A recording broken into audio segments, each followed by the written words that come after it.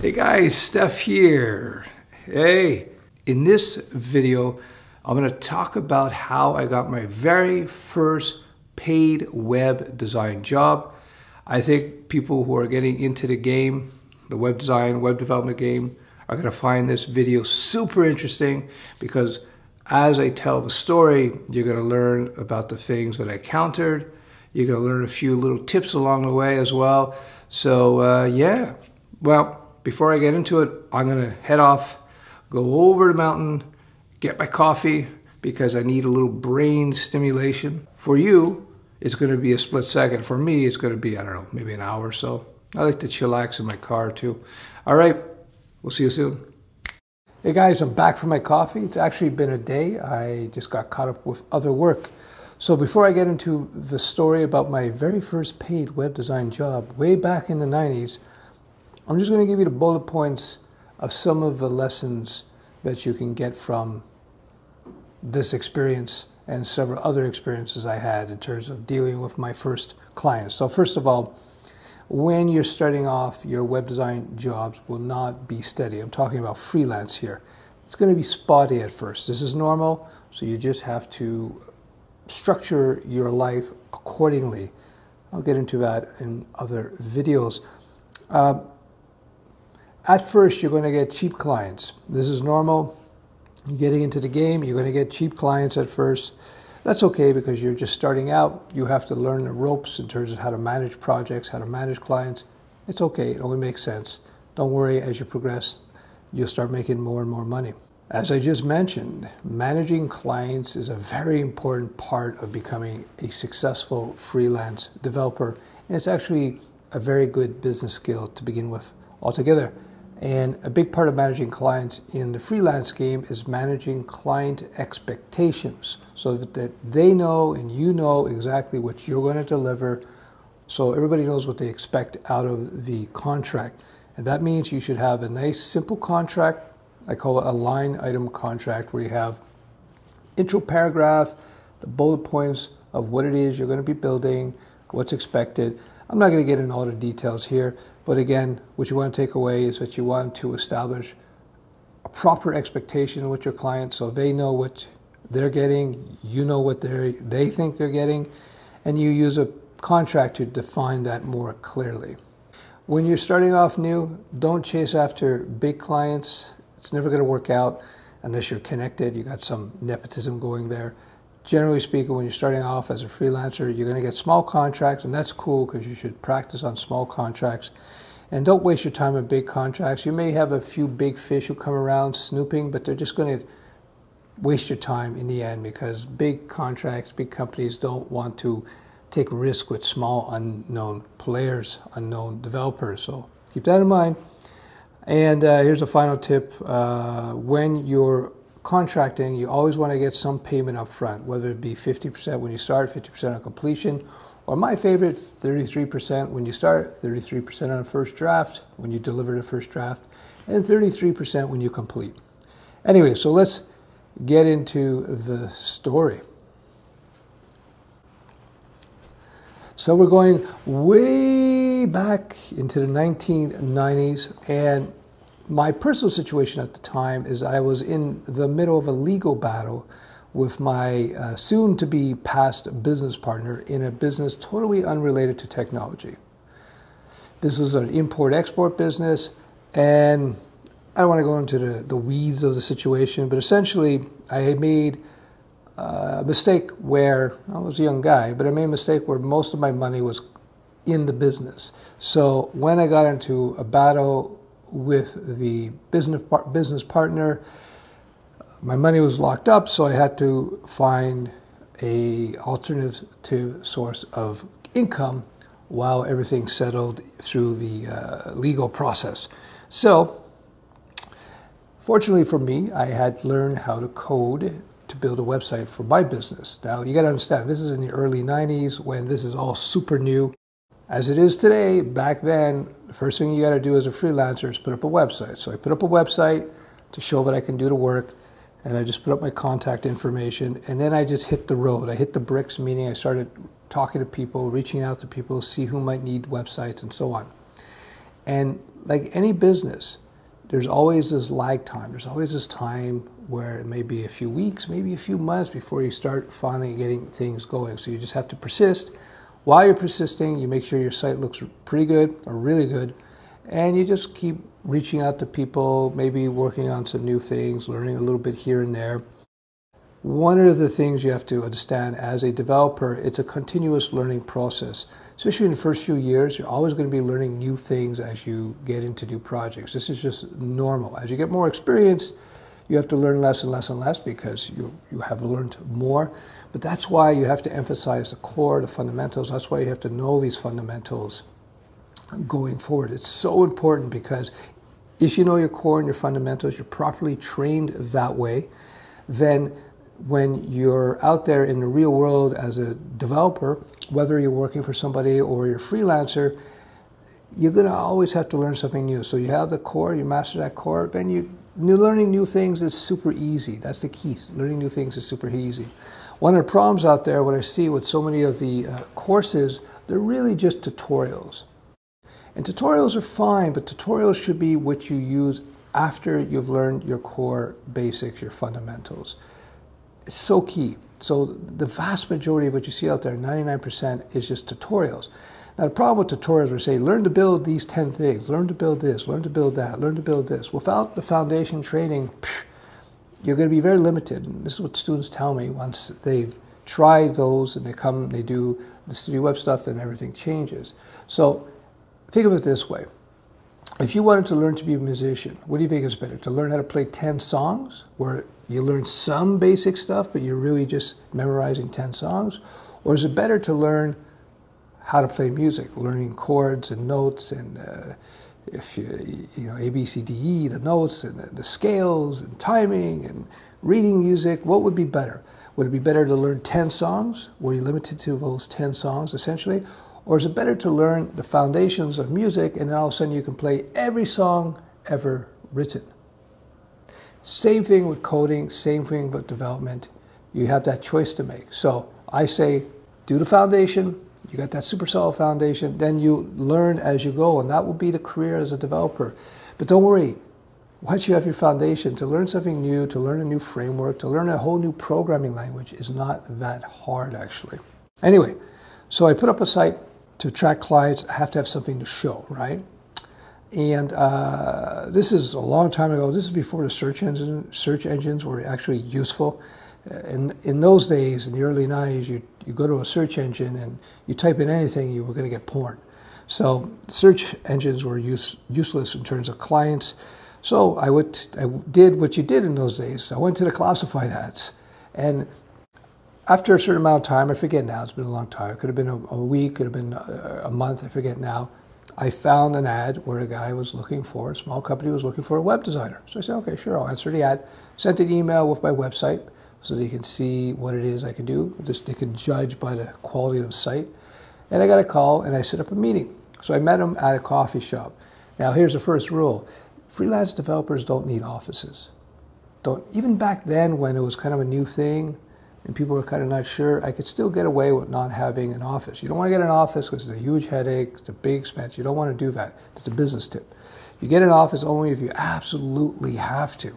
So I go meet him at a coffee shop, and you sit down, see the guy, and when you first meet a new client, there's always this feel out period. They want to judge, and you want to judge whether or not these people are rats or not, whether or not you can trust them. And that's why I emphasize after coding skills, you have to have great communication skills because oftentimes that's going to mean the difference between you being successful, whether you want to get a job, you want to be a freelancer, or you want to start your own business you have to have good communication skills. So I sat down, talked to the guy, a little bit of banter, a little chit chat, and uh, we got along. So then we started getting into the specifics of the project. After he gave me the specifics of the project, he then asked me the two inevitable questions. Number one, how much do you charge per hour? And number two, what do you think this project is going to cost overall? You see, they're going to ask you how much you charge per hour, even though just about 99% of your clients, especially the first job, they're going to be saying, I want a fixed cost on this. I don't want you to say it's going to be X dollars per hour and then you can just tell me how many hours you've done. Very few people will do that. Only after they know you and trust you uh, will they let you go by the hour. What they're going to do, they're going to ask you how much by the hour just to judge your price, and they're going to say, okay, how much for the, for the actual total cost of the project. So they asked me my price, the, client did, and I gave them a price a little higher than I wanted because usually they're going to try to bargain you down. That's just the way it is. So he was a little humming and hawing there, and then he said, okay, well, how much is this is going to be to do this project? Now, at that time, my abilities to evaluate the value of a job wasn't as mature because I, I, was just starting out as a freelancer. I'd only done uh, my site and some other one other site, so I wasn't really super experienced. So I said to him, I'll get back to you. I want to look at the details, make sure everything's cool, and I'll get back to you with a price. So I went back and I did my best estimate. Here's another tip. When you're building your demo site, when you're building your own site to demo to people as a freelancer or even to, to get a job, take meticulous notes about how long it takes you to do things. Why? Because this is going to help you become a better judge of how long it takes to build a site so you can better quote people, if that makes sense. So I gave the guy a call a couple days later. I said, okay, I got a price for you. And then we bantered the price and there was negotiation. And as usual, because I was new and because he knew I was new, because I didn't have any credits on my site, it was just my site, I didn't have a list of clients, my price was pushed down. But I took the job because A, I needed the money, and B, I needed to get a client. I needed to get my first client. The first client is the hardest client to get in any business, regardless. So you got to be a little bit more flexible with the first client. Your first client might be a free client. My very first client, it was not really paid. I, I did a legal firm where they, they, they did all my incorporations for uh, my business. They handled all the incorporation. I was worth a couple grand at the time. And then they were going to expand in all kinds of other areas. We'll get into that for now. But so it wasn't really the same. It was like he'll say, he, they said, you build the site, we'll give you, we'll create your corporation for you. I said, okay, cool, done. It was a sideline for me at the time anyway, so I didn't care. But this new client, what I'm talking about now, it was actually dollars. So I agreed to the price. We meet again. I get a check for the first, I don't know if it was 33% or half, I forget now. It's so long ago. And away we go, and then we build the site. You know, I had a basic contract. I knew about contracts was my previous business. We stipulated what I had to do, by what dates, what is, what it was they expected in the payment schedule. When you create a contract with a uh, client, you get a copy, they get a copy, both copies are signed by both parties, meaning you get a signed copy with his signature and your signature, and he gets a signed copy from you with his signature and your signature. The whole point of the contract is to clarify what the relationship's about, who, what are you doing for what, and it avoids, it helps in a way to avoid conflict down the road because it's clear, it's on paper. So always get a written contract and always make sure you have a signed copy. So I delivered that contract, I delivered the site, he was happy, and what happened is what typically happens. They become a long standing client. And so I forget the details, been so long with this guy, but a few months later he came back and need this and need this done and need this and that done. So you get you're starting to get a stream of income from this client as a freelancer. And what you're going to learn is that entrepreneurs hang out and know other business owners. They know entrepreneurs. So if you do a good job and you have a great relationship with them, communication skills are huge to establish that, then he'll start talking to his friends, his entrepreneur friends. And then you find you start slowly, slowly getting more contracts. Now, what you do is when you finish the site, you take a screenshot of the site, you feature it on the homepage of your site, and so you have your first paid client. And when you got three or four of those paid clients where you can demo them on your homepage, and you start directing people to your homepage, all of a sudden, it's like uh, book reviews on Amazon. All of a sudden, you become much more credible, and the opportunities in terms of the number of new clients you're going to get are just going to start increasing quite a, a bit. So, how do you maximize that into making big money? Well, as you slowly develop your skills as a web developer, where you uh, become a better coder for, to begin with, and you start working out workflows. Workflows are such an important part of any type of business. And a part of the value of a business is that they've worked out the workflow. The workflow is just the way in which you get the job done. So when you uh, develop your skills as a developer, at first your workflow is going to be no good. You're not going to have any. And also, you're junior programmer, so you're going to be learning the ropes. You're going to be learning all of the hassles and the problems that developers have to deal with as they uh, work with clients and so forth. And over time, you're going to continuously develop more and more workflows so that you can minimize the amount of time it takes you to complete a job and thus your value per hour, your time, your time is going to become more and more valuable. That's why junior developers make less than experienced developers. But then once you become that experienced developer, here comes the money. And there are strategies you can implement, of course, where you can really maximize the amount of money you can make as a developer. But I won't get into that here. Uh, I talk about that in other videos. So there you go. That was how I got my very first web development job. I put up a cheap site. Well, it wasn't cheap. I put up a simple site. I went out there, started knocking on doors, talking to people, and eventually, of all places, I got it through a classified ad.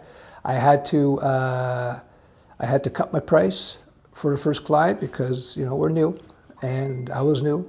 But eventually, uh, that turned into a lucrative contract because as they become, as they turn to trust me more, they become more dependent on me, and as I get more and more clients, you start making more and more money. So it is a process. And last point I mentioned previous, well, just a few minutes ago, when you are a developer, it is a continuous process of learning. As you become more experienced, the amount you have to learn will decrease, of course, but you're always learning something new. So that's why I emphasize you have to learn the core, you have to learn your fundamentals really well so that it becomes easy to learn new things. Again, going back to that, whether you want to learn 10 songs or you want to learn how to play music.